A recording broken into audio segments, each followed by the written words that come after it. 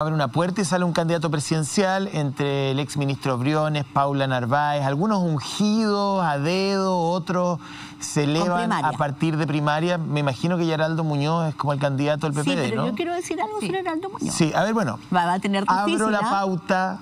La va a tener difícil porque quiero decir que eh, podría haber ganado la primaria pero la rebelión de las mujeres del PPD no va a cesar de aumentar. Y sabes que tienen razón porque dejaron afuera a, una, a la constituyente, a la mujer constituyente más importante no solamente del PPD, de las mujeres que han luchado históricamente por los derechos de las mujeres, Teresa Valdés.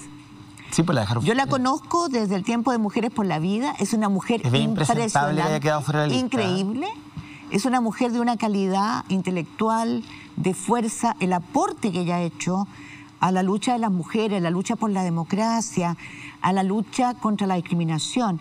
Es una mujer, por supuesto, que nunca ha buscado protagonismo ni florero.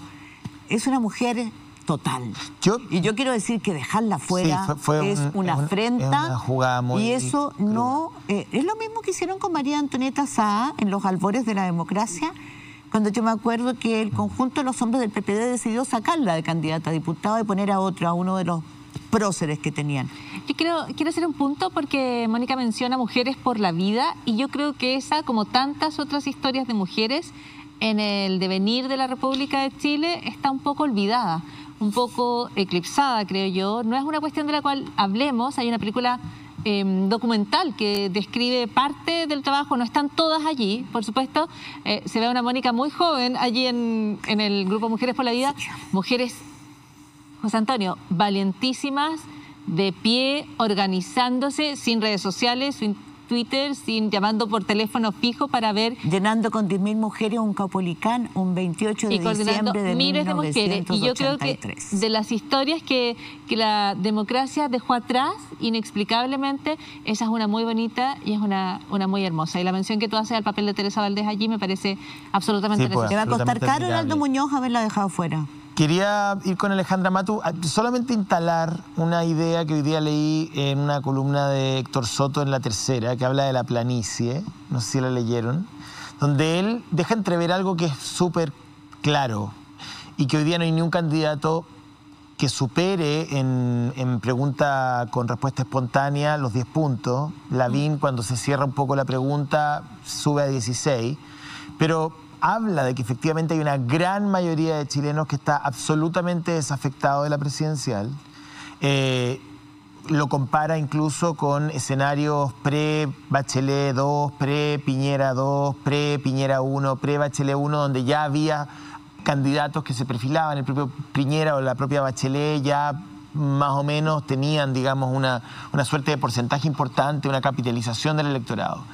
Eh, y, yo, yo siento que la farandulización de las candidaturas está llegando a un nivel de ridiculez que francamente le hace un flaco favor al contenido que debe tener cada campaña. ¿Tienes alguna ¿Ah? foto en mente que te haya... No, no, no, no, no. Bueno, Alejandra. Sí, no, eh, yo quería decir que en esto el, el, 70% de, eh, normalmente en la encuesta que no se pronuncia por ningún candidato, yo creo que la gente es sensata. la gente no está preocupada del próximo o próxima eh, eh, presidenta porque tiene problemas en este minuto eh, súper serios como la pandemia de la que hacerse cargo y como toda la, crisis económica que ha, venido aparejada de ella y probablemente la esperanza puesta en que una nueva constitución cambie las reglas del juego para que los problemas que no se han solucionado en 30 años comiencen a solucionarse. Eh, no se va a solucionar eh, con un presidente o presidenta que siga bajo la misma constitución de 1980 y me parece que los partidos políticos están eh, dando vueltas en círculo, buscando proponer un candidato o candidata a un país que ya les dijo hace rato que quería cambios más profundos. Em, por ejemplo, los últimos candidatos de la ex concertación eh, Heraldo Muñoz, eh, eh, con todo el respeto a su persona, digamos, no, no, hay mucho misterio en que el candidato de Guido Girardi, conocido por su capacidad de muñequeo. Y en la Corte Suprema. sí, en la Corte Suprema. qué decir en el PPD? Claro. En la Corte Suprema. En Andrés Velasco y en fin. Las comidas que hacía en su casa. Claro, las comidas con sus operadores. Bueno. Eh, eh, eh, Guido Girardi es un representante clásico de la política de los 90 y 2000 y su candidato, Heraldo Muñoz, se ha impuesto con Em, con no pocas eh, quejas ya de algunas mesas que no se constituyeron, en fin, esas cosas que pasan siempre en este tipo de primaria, además por Zoom, no sé cómo lo habrán hecho. Y lo otro, ¿Mm? eh, la candidata del Partido Socialista, eh, con todos los méritos que pueda tener Paula Narváez, también ha sido refrendada y ungida por la nomenclatura de, de, personajes que, que, lo habrán hecho bien, más o menos mal, pero corresponden al siglo pasado, si uno eh, lo mira eh, con perspectiva de futuro. Ahora, perdón, Alejandra. No se haciendo cargo del nuevo Chile. Quería, quería instalar acá ya los últimos minutos que nos quedan una reflexión respecto de cómo la derecha y la izquierda están enfrentando la presidencial, incluso la, la constituyente, ¿no? ¿Cómo es posible que después del 18 de octubre, con una serie de ideas que, que la izquierda fue incapaz de capitalizar, la derecha tenga una estrategia unitaria para enfrentar la constituyente, parezca mucho más enfocada a la hora de enfrentar la presidencial en una primaria que la propia izquierda. ¿Te parece raro? Me parece raro. Tiene más, vocación de, poder. Ahora, si Yo creo que tiene más miedo de perder. Y quizás tiene más miedo de perderlo. Ahora, o bueno, porque las cosas tan complejas. Una serie. Oye, pero, si llegan con una, a propósito, yo quería hacerle una pregunta, perdón, yo quería hacerle una pregunta, me estoy abusando de que estoy de regreso. quería hacerle una pregunta. Escuché que Carlos Ominami dijo que está candidato a la constituyente que no había límite, que el límite para el gasto electoral de, los, de la campaña de los constituyentes lo habían fijado en 450 millones no lo sé, yo no lo sé. si fuera así, o sea, este es un tema clave, ¿no? Si es así, me parece escandaloso en medio de pandemia, de crisis económica, que gasten, o sea, que se ponga el gasto, que no se limite más bajo que 450 millones, es una danza de verdad de corrupción. Porque no puedo entender que, que no se haga una, que no hayan entendido eh, que la gente no acepta ese despilfarro, que la gente está realmente con urgencia. O sea, no puedo creer que sea verdad eso. Yo tendría que chequear el dato, no lo sé. Mm. Ahora, eh, Alejandra.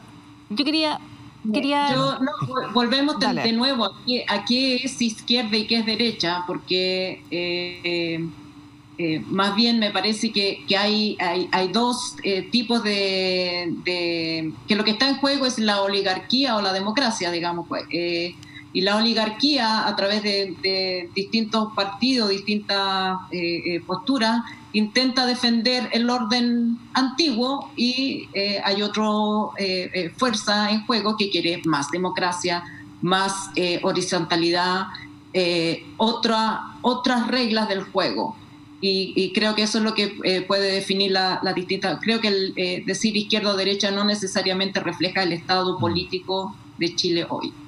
Paula. Sí, solo quería apuntar a lecturas del fin de semana. Yo leí la entrevista a Katia Araujo, creo que Katia Araujo es eh, una académica a la que siempre hay que estarle poniendo ojo y ella habla de eh, lo que tú apuntas, eh, José Antonio, y es esta idea de que volvemos como al... Mm, de que es un concurso de belleza, de que es electoralismo, es... Que no han entendido nada de, lo que está pasando. De dónde saco los votos en vez de cómo le respondo a una ciudadanía que, y dice Katia Araujo, ojo, no porque no esté protestando todos y cada uno de los viernes, mm. no sigue movilizada y con una fuerte necesidad de que terminen las desigualdades aquí y ahora en, Chile. Eso concuerda con Alfonso Suet, que dice en una entrevista También, atención, la tercera.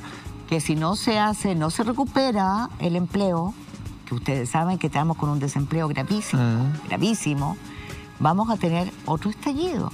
O sea, yo creo que todos los indicios nos están mostrando que si esta campaña de vacunación, que tiene que ser exitosa, que si la forma de tratar a la gente, el trato a las personas, que están en problemas, ya sea en COVID o situación económica, no cambia, eh, esto va, el malestar, la ira va a seguir creciendo.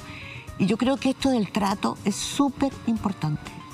El trato respetuoso, el trato digno, el trato como persona, la visibilidad de quienes tienen problemas. Mm. Bien, llegó la hora de apretar el botón. Así que comenzamos ya a cerrar el Yo no programa quiero ningún hoy. botón. ¿No? No, no, más- no, sin botones. Vamos Sin a ver si tenemos agua, que no está... Alejandro, tú Ay, tampoco, eh, Esto es ¿cierto? consensuado, esto no es botón, esto es consensuado.